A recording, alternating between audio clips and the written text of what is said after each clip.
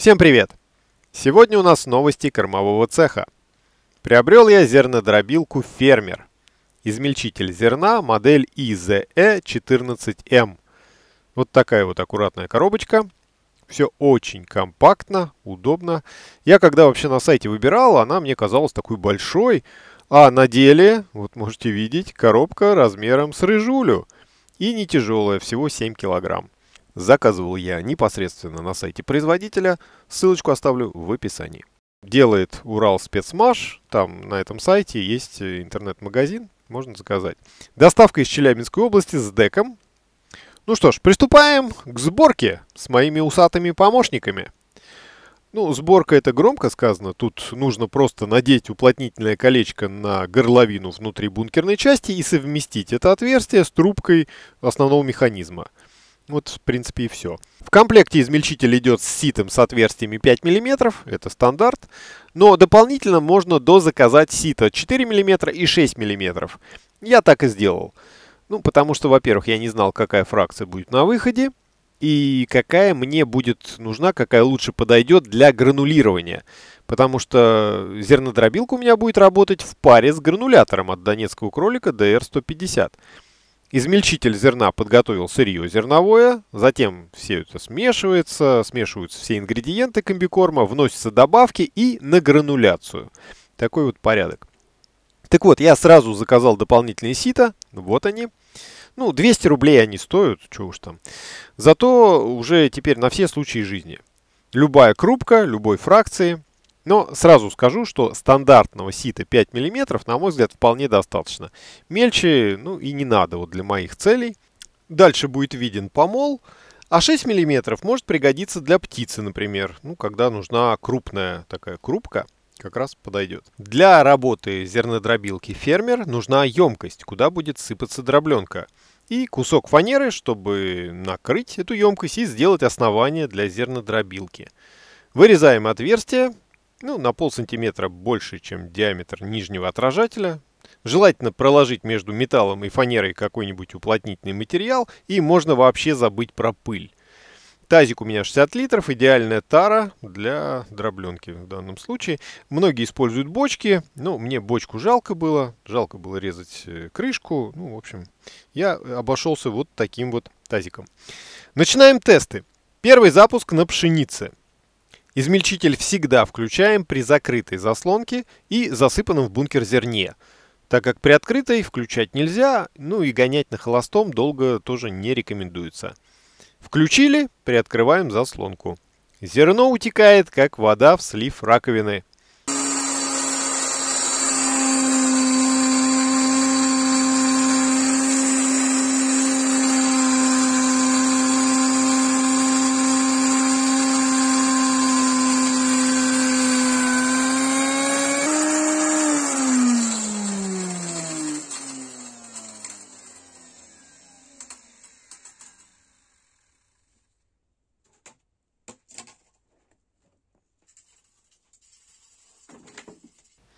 Вот такая вот крупка по пшенице получается.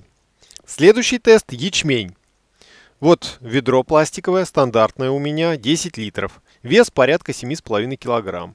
Бункер рассчитан на 14 литров, так что мне как раз очень удобно. Все корма у меня в таких вот ведрах. Засыпал ведро и все, сразу, целиком. И считать удобно, учитывать. Ячмень побежал также отлично. На ячмене и пшенице я заслонку открываю полностью. Максимальная скорость, движок высокооборотистый, порядка 15 тысяч оборотов в минуту. Из-за этого дробленка как раз и выходит очень мелкая, даже на сите 5 миллиметров. Я думал, будет крупнее. Нет, она вот такая вот меленькая.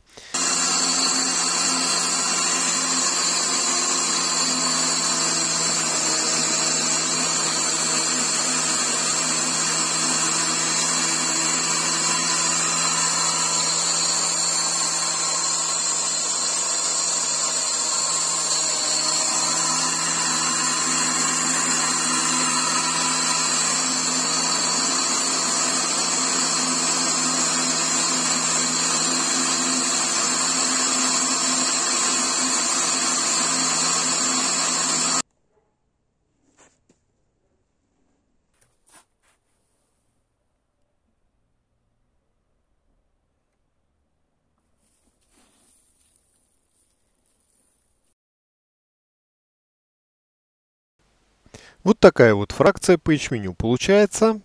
По-моему, самое то. Вот для моих целей подходит идеально. Следующее зерно это овес. Вот э, овес пришлось не полностью открывать заслонку, иначе он своей шелухой забивал пространство между ситом и нижним отражателем. Ну, может быть, из-за влажности воздуха у нас тут еще двое суток ледяные дожди скучать не дают. Э, ну, хорошо, у меня навесы, помещения для всех этих дел построены, но влажность-то общая, она присутствует. Далее, горох.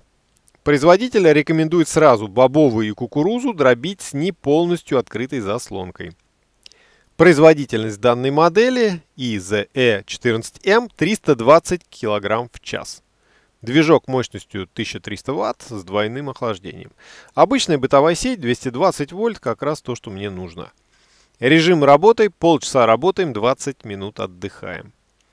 Ну, я вот намолол три вот такие вот таза по 60 литров. Ну, не совсем доверху, конечно. Ну, как раз примерно за полчаса. Нормально. В самый раз для моих целей. И для такой мощности, и для 220 вольт, на мой взгляд, отлично. Нож закаленный, нужен запасной, ну мало ли там сломался, что-то случилось. Нет проблем, 190 рублей можно заказать там же, где зернодробилку. На сайте фермера была модель измельчителя просто 14, э, но я решил взять М. Разные движки, мощность на 100 ватт побольше, вот у моей модели, и плюс 20 килограмм в час относительно предшественницы. Да и вообще, если есть выбор между тополем и тополем М, я выбираю тополь М. Тем более, что разница всего в 300 рублей. Вообще цена вот этого экземпляра, вот этой модели у меня 5000 рублей плюс сменные сито и доставка. Для агрегата такой производительности, на мой взгляд, вполне приемлемо. После дробления я решил открыть корпус, э, ну, посмотреть моторный отсек, э, не попадает ли туда мука, пыль, вот как там все после именно работы, после тестов. Как вы могли видеть, при дроблении, при непосредственном процессе пыли нет мука не летает. Кстати, это важно, потому что у меня вообще на муку в воздухе аллергия. Итак, смотрим.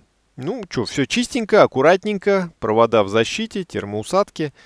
Есть защита, предохранитель. Э, также запасной предохранитель идет в комплекте. Так что все нормально. Ну, э, теперь такой вопрос. Зачем вообще зернодробилка? Ведь мощный гранулятор от донецкого кролика может э, ну, просто перемалывать зерно своими валами в муку. Безусловно. Но, во-первых, у меня всего 220 вольт, поэтому, ну, зачем ему лишняя нагрузка, если можно решить это проще и недорого. А главное, нам же надо смешивать равномерно ингредиенты для комбикорма, а для этого основа должна быть мелкой, именно для однородности сырья. Почему выбрал именно эту модель? Ну, во-первых, по соотношению цена-производительность, это прежде всего – Плюс объемный бункер, как раз когда мое ведро стандартное, входит туда полностью с запасом. Ну и плюс хорошие отзывы. Вот исходил из этого. Первыми сеансами дробления я доволен. Продолжаем поэтапно идти к заветной цели производства собственного комбикорма. Два основных элемента этой системы уже в наличии. Идем дальше. До новых встреч на канале Фермер Одиночка. Всем пока.